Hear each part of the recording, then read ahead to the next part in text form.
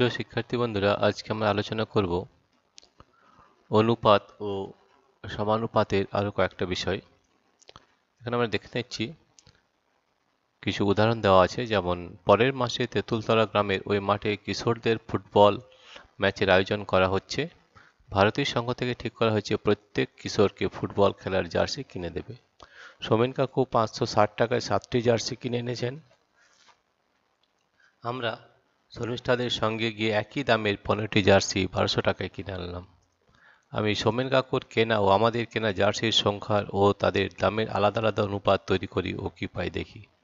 সোমেন কাকুর কেনা জার্সির সংখ্যা ইস টু আমাদের কেনা জার্সির সংখ্যা সমান seven is to fifteen Somen কাকুর কেনা জার্সির দাম ইস টু আমাদের কেনা জার্সির দাম five hundred sixty is to twelve hundred অর্থাৎ seven into eighty is to fifteen into eighty আমরা পেয়েছি সেভেন ইস টু ফিফটিন কিন্তু অনুপাত দুটি লঘিষ্ঠ আকারে প্রকাশের পর দেখি দুটি অনুপাতই সমান এই ধরনের সমান অনুপাত তৈরি করার তৈরি করার সংখ্যাগুলিকে কি বলা হয় যদি চারটি বাস্তব সংখ্যা এমন হয় যে প্রথম দুটি সংখ্যার অনুপাত ও শেষ দুটি সংখ্যার অনুপাত পরস্পর সমান হয় তাহলে ওই সংখ্যা চারটিকে সমানুপাতি বলে অথবা সংখ্যা চারটি সমানুপাতে আছে বলা হয় অর্থাৎ প্রপোর্শন প্রপোর্শন চারটি বাস্তব সংখ্যা a b c d b is not equal to zero d not equal to zero সমানুপাতে থাকলে তাদের এইচ টু বি সমানুপাত সি টু ডি এইভাবে লেখা হয়।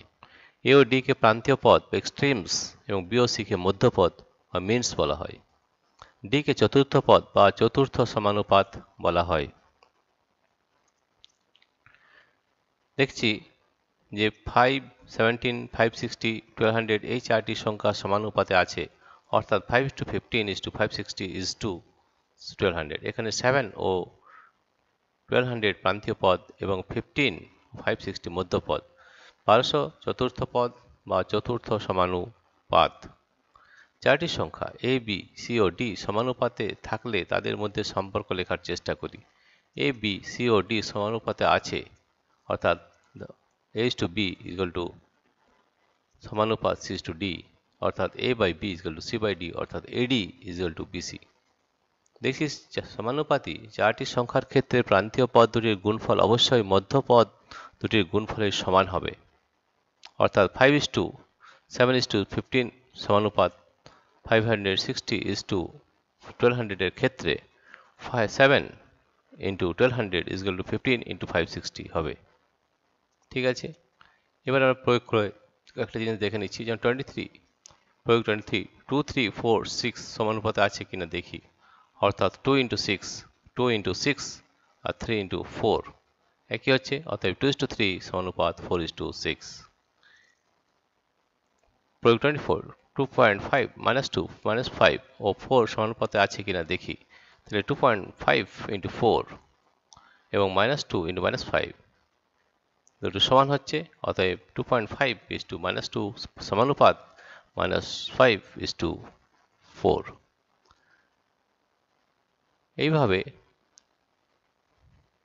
আমরা দেখব যে সমানুপাতে আছে কি না প্রয়োগ সাতাশ বা টোয়েন্টি সেভেন কি আছে? দেখো five p q three q q three q এর সঙ্গে নিচের কোন জোড়া সংখ্যা সমানুপাত আছে, নির্ণয় করি।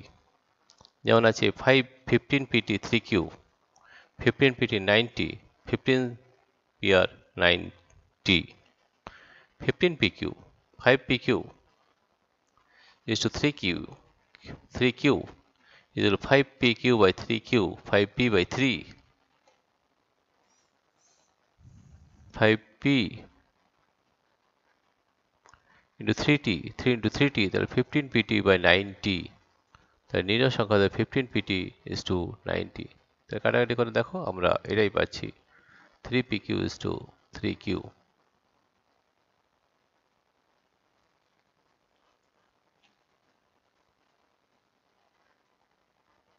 ঠিক আছে?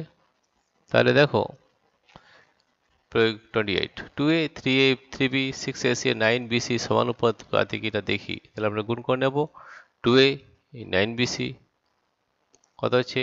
এইটিন এবিসি এবং three into six eighteen a b c পেলাম প্রান্তীয় পদ্মের গুণফল ইকুয়াল টু মধ্য পদ্মের গুণফল, অতএব two a three b six a c এবং নাইন বিসি প্রয়োগ টোয়েন্টি থার্টি যদি six is to x is to proportional সমানুপাত টু ইস টু থার্টিন হয়, তবে এক্সের মান হিসাব করে লিখি। তাহলে আমরা লিখতে পারি x is to six is to x is equal to সমানুপাত two is to thirteen অর্থাৎ six by x is equal two by thirteen বা two x is equal to six into thirteen R x equal seventy eight by two অর্থাৎ x equal to thirty nine প্রয়োগ thirty two কী আছে? দেখো six nine টুয়েলভের চতুর্থ সমানুপাতে নির্ণয় করি। মনে করি চতুর্থ সমানুপাতি এক্স অর্থাৎ সিক্স ইস টু নাইন সমানুপাত টুয়েলভ ইস টু এক্স অর্থাৎ এক্সের মান পাচ্ছি nine into twelve by six ঠিক আছে? এইভাবে আমাদের বিভিন্ন প্রয়োগ বের করতে পারব। থার্টি থ্রিতে কী আছে, দেখো ফাইভ ফোর টোয়েন্টি ফাইভের চতুর্থ সমানুপাতে হিসাব করে লিখি। ধরি এ বি সি ডি চারটি সমানুপাতি সংখ্যা। সুতরাং এ by B সমানুপাত c by d equal a by d b equal c by d বা নাম্বার ওয়ান তাহলে a by b is equal to c by d বা a by c is equal to b by d অর্থাৎ a is to b is equal to সমানুপাত বিস to D দু নম্বরে কি আছে? A by b equal to c by d বা b by a is equal to d by c অর্থাৎ b is to a is equal to d সমানুপাত d is to c by b is equal to c by d বা by a is equal to d by b অর্থাৎ is to a is equal to d is to b পেলাম a, b, c ও d সমানুপাত হলে a, c, b, d সমানুপাতি, b, a, d, c সমানুপাতি, c, a, d, b সমানুপাতি। বুঝেছি। Two three four ও six চারটি সমানুপাতি সংখ্যা দিয়ে যে সকল স্বতন্ত্র সমানুপাত গঠন করা যাবে, সেগুলি হলো two is to four সমানুপাত three to six 3 is to 2 সমানুপাত 6 is to 4 and 4 is to 2 সমানুপাত 6 is to 3 2 4 6 ও 10 এর প্রত্যেকের সঙ্গে কোন সংখ্যা যোগ করলে যোগ ফলগুলি সমানুপাত হবে, হিসাব করে লিখি। মনে করি প্রত্যেকের সঙ্গে x যোগ করতে হবে সুতরাং two plus x four plus x six plus x ও টেন প্লাস এক্স সমানুপাতি হবে। অতএব two plus x is to four plus x সমানুপাত six six plus x is to ten plus x অর্থাৎ two plus x by 4 plus x is equal to 6x plus divided by 10 plus x তাহলে এখান থেকে আমরা পাচ্ছি x equal to 2 নির্ণয় সংখ্যা হচ্ছে 2 37 37 কি আছে? দেখো, a, b, c, d, এর প্রত্যেকটির সঙ্গে কত যোগ করলে যোগফলগুলি সমানুপাতি হবে হিসাব করে লিখি। ধরি প্রত্যেকের সঙ্গে x যোগ করলে সমানুপাতি সংখ্যাগুলি সমানুপাতি হবে। সুতরাং এ plus x সমানুপাত b plus x is to b plus x সমানুপাত c to x is to d plus x তাহলে a plus x by b plus x equal c plus x by d plus x এখান থেকে আমরা এক্সের মান পাচ্ছি a c a b c c b minus a d by a plus b minus b minus c প্রত্যেকটির সঙ্গে c c b minus a d by a plus d minus b minus c যোগ করলে যোগফলগুলি সমানুপাতি হবে। Four eight sixteen তিনটি সংখ্যাকে সমানুপাতে লেখা যাবে কিনা দেখি। Four is to eight is equal to one is to two এবং eight is to sixteen is equal to one is to two লিখতে পারি। ফোর ইস টু এইট সমানুপাত এইট ইস টু সিক্সটিন কিন্তু তিনটি রাশি এভাবে সমানুপাত থাকলে সেই সমানুপাতকে কি বলা হয়? সমজাতীয় তিনটি রাশির মধ্যে প্রথম ও দ্বিতীয় পদের অনুপাত। দ্বিতীয় তৃতীয় পদের অনুপাতের সমান হলে সেই ওই সমজাতীয় তিনটি রাশিকে ক্রমিক সমানুপাতি বলা হয়। হয়েছি বোর্ডে লেখা হয় ফোর এইট সিক্সটিন সংখ্যাগুলি ক্রমিক সমানুপাতি। তিনটি বাস্তব সংখ্যা এ, বি ও সি ক্রমিক সমানুপাতে থাকলে তাদের মধ্যে কি সম্পর্ক পাই হিসাব করে দেখি। তাহলে a by a is to b সমানুপাত b is to c a by b is to b by c. অতএব b square equal a c b plus minus root over a c তাহলে মে বি সি ক্রমিক সমানুপাতি হলে b square equal to a c বা b equal to plus minus root over a c b ধনাত্মক চিহ্নযুক্ত হবে যদি এ এবং সি উভয়ই ধনাত্মক চিহ্নযুক্ত হয় এবং বি ঋণাত্মক চিহ্নযুক্ত হবে যদি এ ও সি উভয়ই ঋণাত্মক চিহ্নযুক্ত হয়। এ এবং এ এবং সি বিপরীত চিহ্নযুক্ত হলে বি অসংজ্ঞাত হবে। এ বি ও সি ক্রমিক সমানুপাতে থাকলে বি কে কি বলা হয়? এ বি ও সি ক্রমিক সমানুপাতে থাকলে a by b is to is to b by c অর্থাৎ b square equal a c এখানে বি কে এ ও সি এর মধ্য সমানুপাতি বা মিন প্রপোর্শনাল এবং সি কে তৃতীয় সমানুপাতি বা থার্ড প্রপোর্শনাল বলা হয়। এভাবে a b c d e ক্রমিক সমানুপাতি হলে a by b equal to b by c equal to c by d equal to d by e হবে।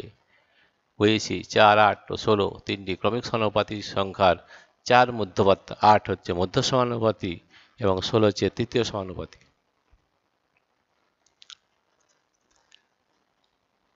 থার্টি নাইন প্রয়োগ থার্টি নাইনে আছে নাইন ও ফিফটিনের তৃতীয় সমানুপাতি নির্ণয় করি। ধরি তৃতীয় সমানুপাতি এক্স নাইন ফিফটিন ও এক্স ক্রমিক সমানুপাতি, সুতরাং nine by fifteen equal to fifteen by x এখান থেকে এক্সের মান আমরা পেয়ে যাব one by nine